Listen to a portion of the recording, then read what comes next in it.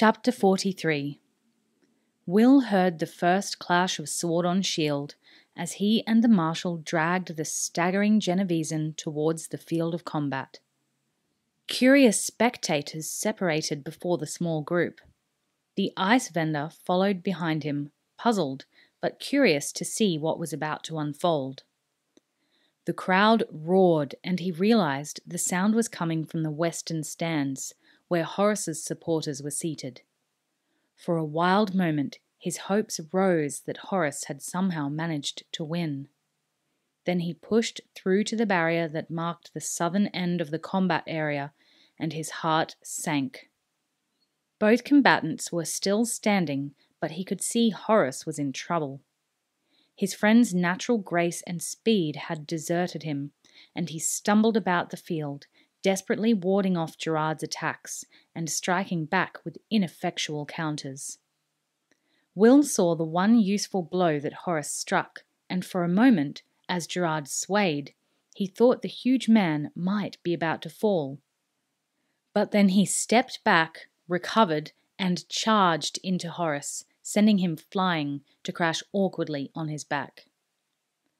The huge sword in Gerard's hand was being held like a dagger as he prepared to drive it down, plunging it into Horace's helpless body.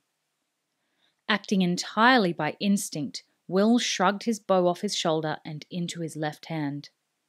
As he raised it, an arrow seemed to nock itself to the string, and he drew and fired in a heartbeat.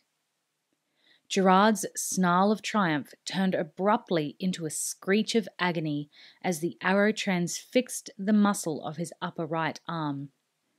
He wheeled away from the prone body before him, the sword falling harmlessly from his nerveless hand, clasping with his left hand at the throbbing pain that had burst out in his arm, sending shooting blasts of agony down to his hand and fingers.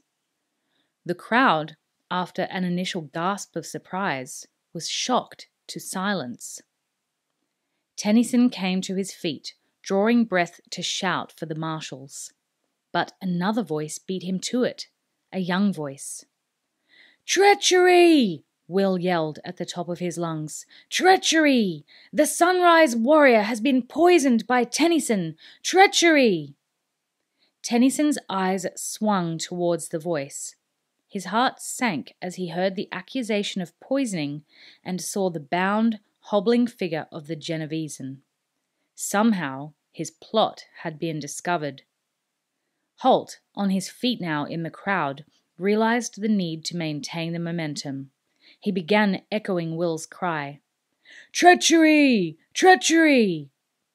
And, as he had hoped, those around him took it up, not knowing the how or why of it, but caught up in the mass hysteria.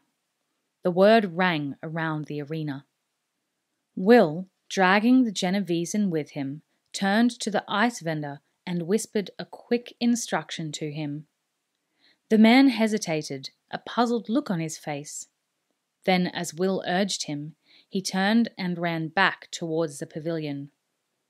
Will was almost up to the central point of the arena now, where Horace had slowly regained his feet and where Gerard crouched, hunched over and still clasping his wounded arm. He shoved the Genovesan forward, sending him stumbling to his knees. I caught this man in the Sunrise Warriors Pavilion, trying to destroy the evidence. Look beside Tennyson, and you'll see his cohorts. An angry murmur swept through the crowd. Will noted that it wasn't confined to the king's side of the arena. Some of Tennyson's recent converts looked questioningly at the priest, flanked by two of the Genovesans.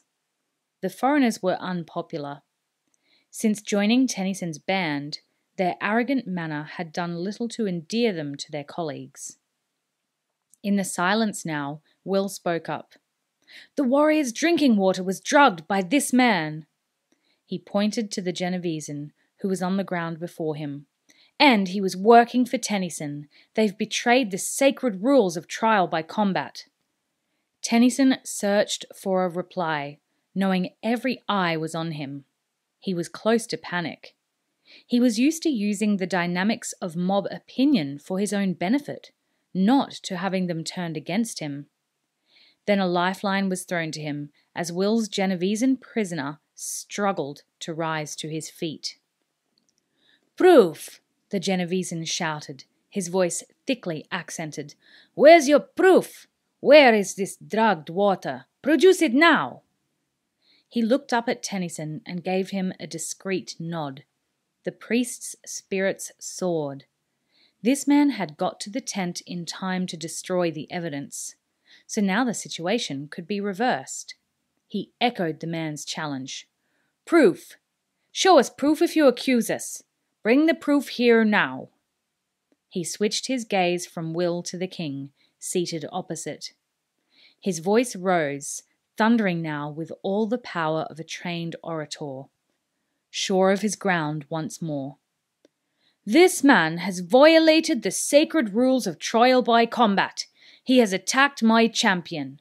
Now his life must be forfeit, and Gerard must be proclaimed the winner. He makes charges against me, but he does so without proof. If there is proof, let him show it now. He frowned as he realized that eyes in the royal enclosure were looking to his right, where Will stood. He followed their gaze and saw the young man smiling triumphantly as he held up a tumbler. Beside him, the ice vendor, who had run all the way to do his bidding, stood hunched over, recovering his breath. Will looked at the Genovesan, you thought you'd destroyed the evidence, didn't you? You poured the water out of the jug onto the ground so nobody could ever know. Tennyson saw the doubt suddenly flicker in his henchman's eyes as they fastened on the tumbler. Will raised his voice now so that more people could hear him. But I got to the tent first, and I poured some of the water into this mug. I thought Tennyson might try something like that. I was curious to see what this poisoner would do when he got there. He looked to Ferris, who had risen from his throne and moved forward to the front of the enclosure. Your Majesty, this is a sample of the poisoned water they used to drug the Sunrise Warrior. It's Tennyson and his cult who have broken the rules of fair combat. They've tried to subvert a fair trial by combat, and they stand condemned. Ferris rubbed his jaw thoughtfully. He might have been weak and vacillating, but even a weak man will resist if he's given enough provocation. And Tennyson's contemptuous threats had finally gone too far. Can you prove this? he asked Will. Will smiled and gripped the Genovesan by the scruff of his collar, dragging him to his feet and shoving the tumbler against his tightly closed lips. Easily, he said. Let's see what happens when our friend here drinks it. The Genovesan began to thrash frantically against Will's iron grip, but Will held him fast and again thrust the tumbler to his mouth. Go ahead, he said. He turned to the marshal. Marshal, would you pinch his nose for me so his mouth will have to open? The marshal obliged, and the Genovesan's lips finally parted as he had to breathe. But as Will raised the tumbler to his open lips, the assassin, with a supreme effort, tore one hand free from his restraints and dashed the tumbler out of Will's hands, sending it spinning and spilling the water onto the grass. Will released him and stood back. He spread his hands in appeal to the king. I think his actions speak for themselves, Your Majesty, he said but Tennyson instantly screamed his dissent. They prove nothing! Nothing! This is all circumstantial. There is no real proof. It's a web of lies and tricks. But the crowd was against him, and now a large proportion of those who had come here with him were also turning away. Voices were raised against him, angry voices of people who were beginning to realize they had been tricked. There's one certain way to find out who's lying, Will shouted, and the arena went silent. Let's test it in the highest court of all. Ferris was taken aback. The suggestion was unexpected. Trial by combat? he said. Will nodded, jerking a contemptuous thumb at the Genovesan. Him and me, here and now, one arrow each from opposite ends of the ground, he said. No, I tell you it's. Tennyson began to shout, but the crowd drowned him out. They were eager for another duel, and they believed in the divine, unarguable power of trial by combat as a way of finding the truth. Ferris looked around the arena. The idea had popular support, he could see. The alternative was to spend weeks in his court arguing the toss, with no prospect of a clear cut answer. Tennyson was glaring his hatred at him, and suddenly Ferris was heartily tired of the overweight, overblown charlatan in a white robe. Go ahead, he said. The crowd roared again, and now a good proportion of those sitting on Tennyson's side joined in the chorus of approval.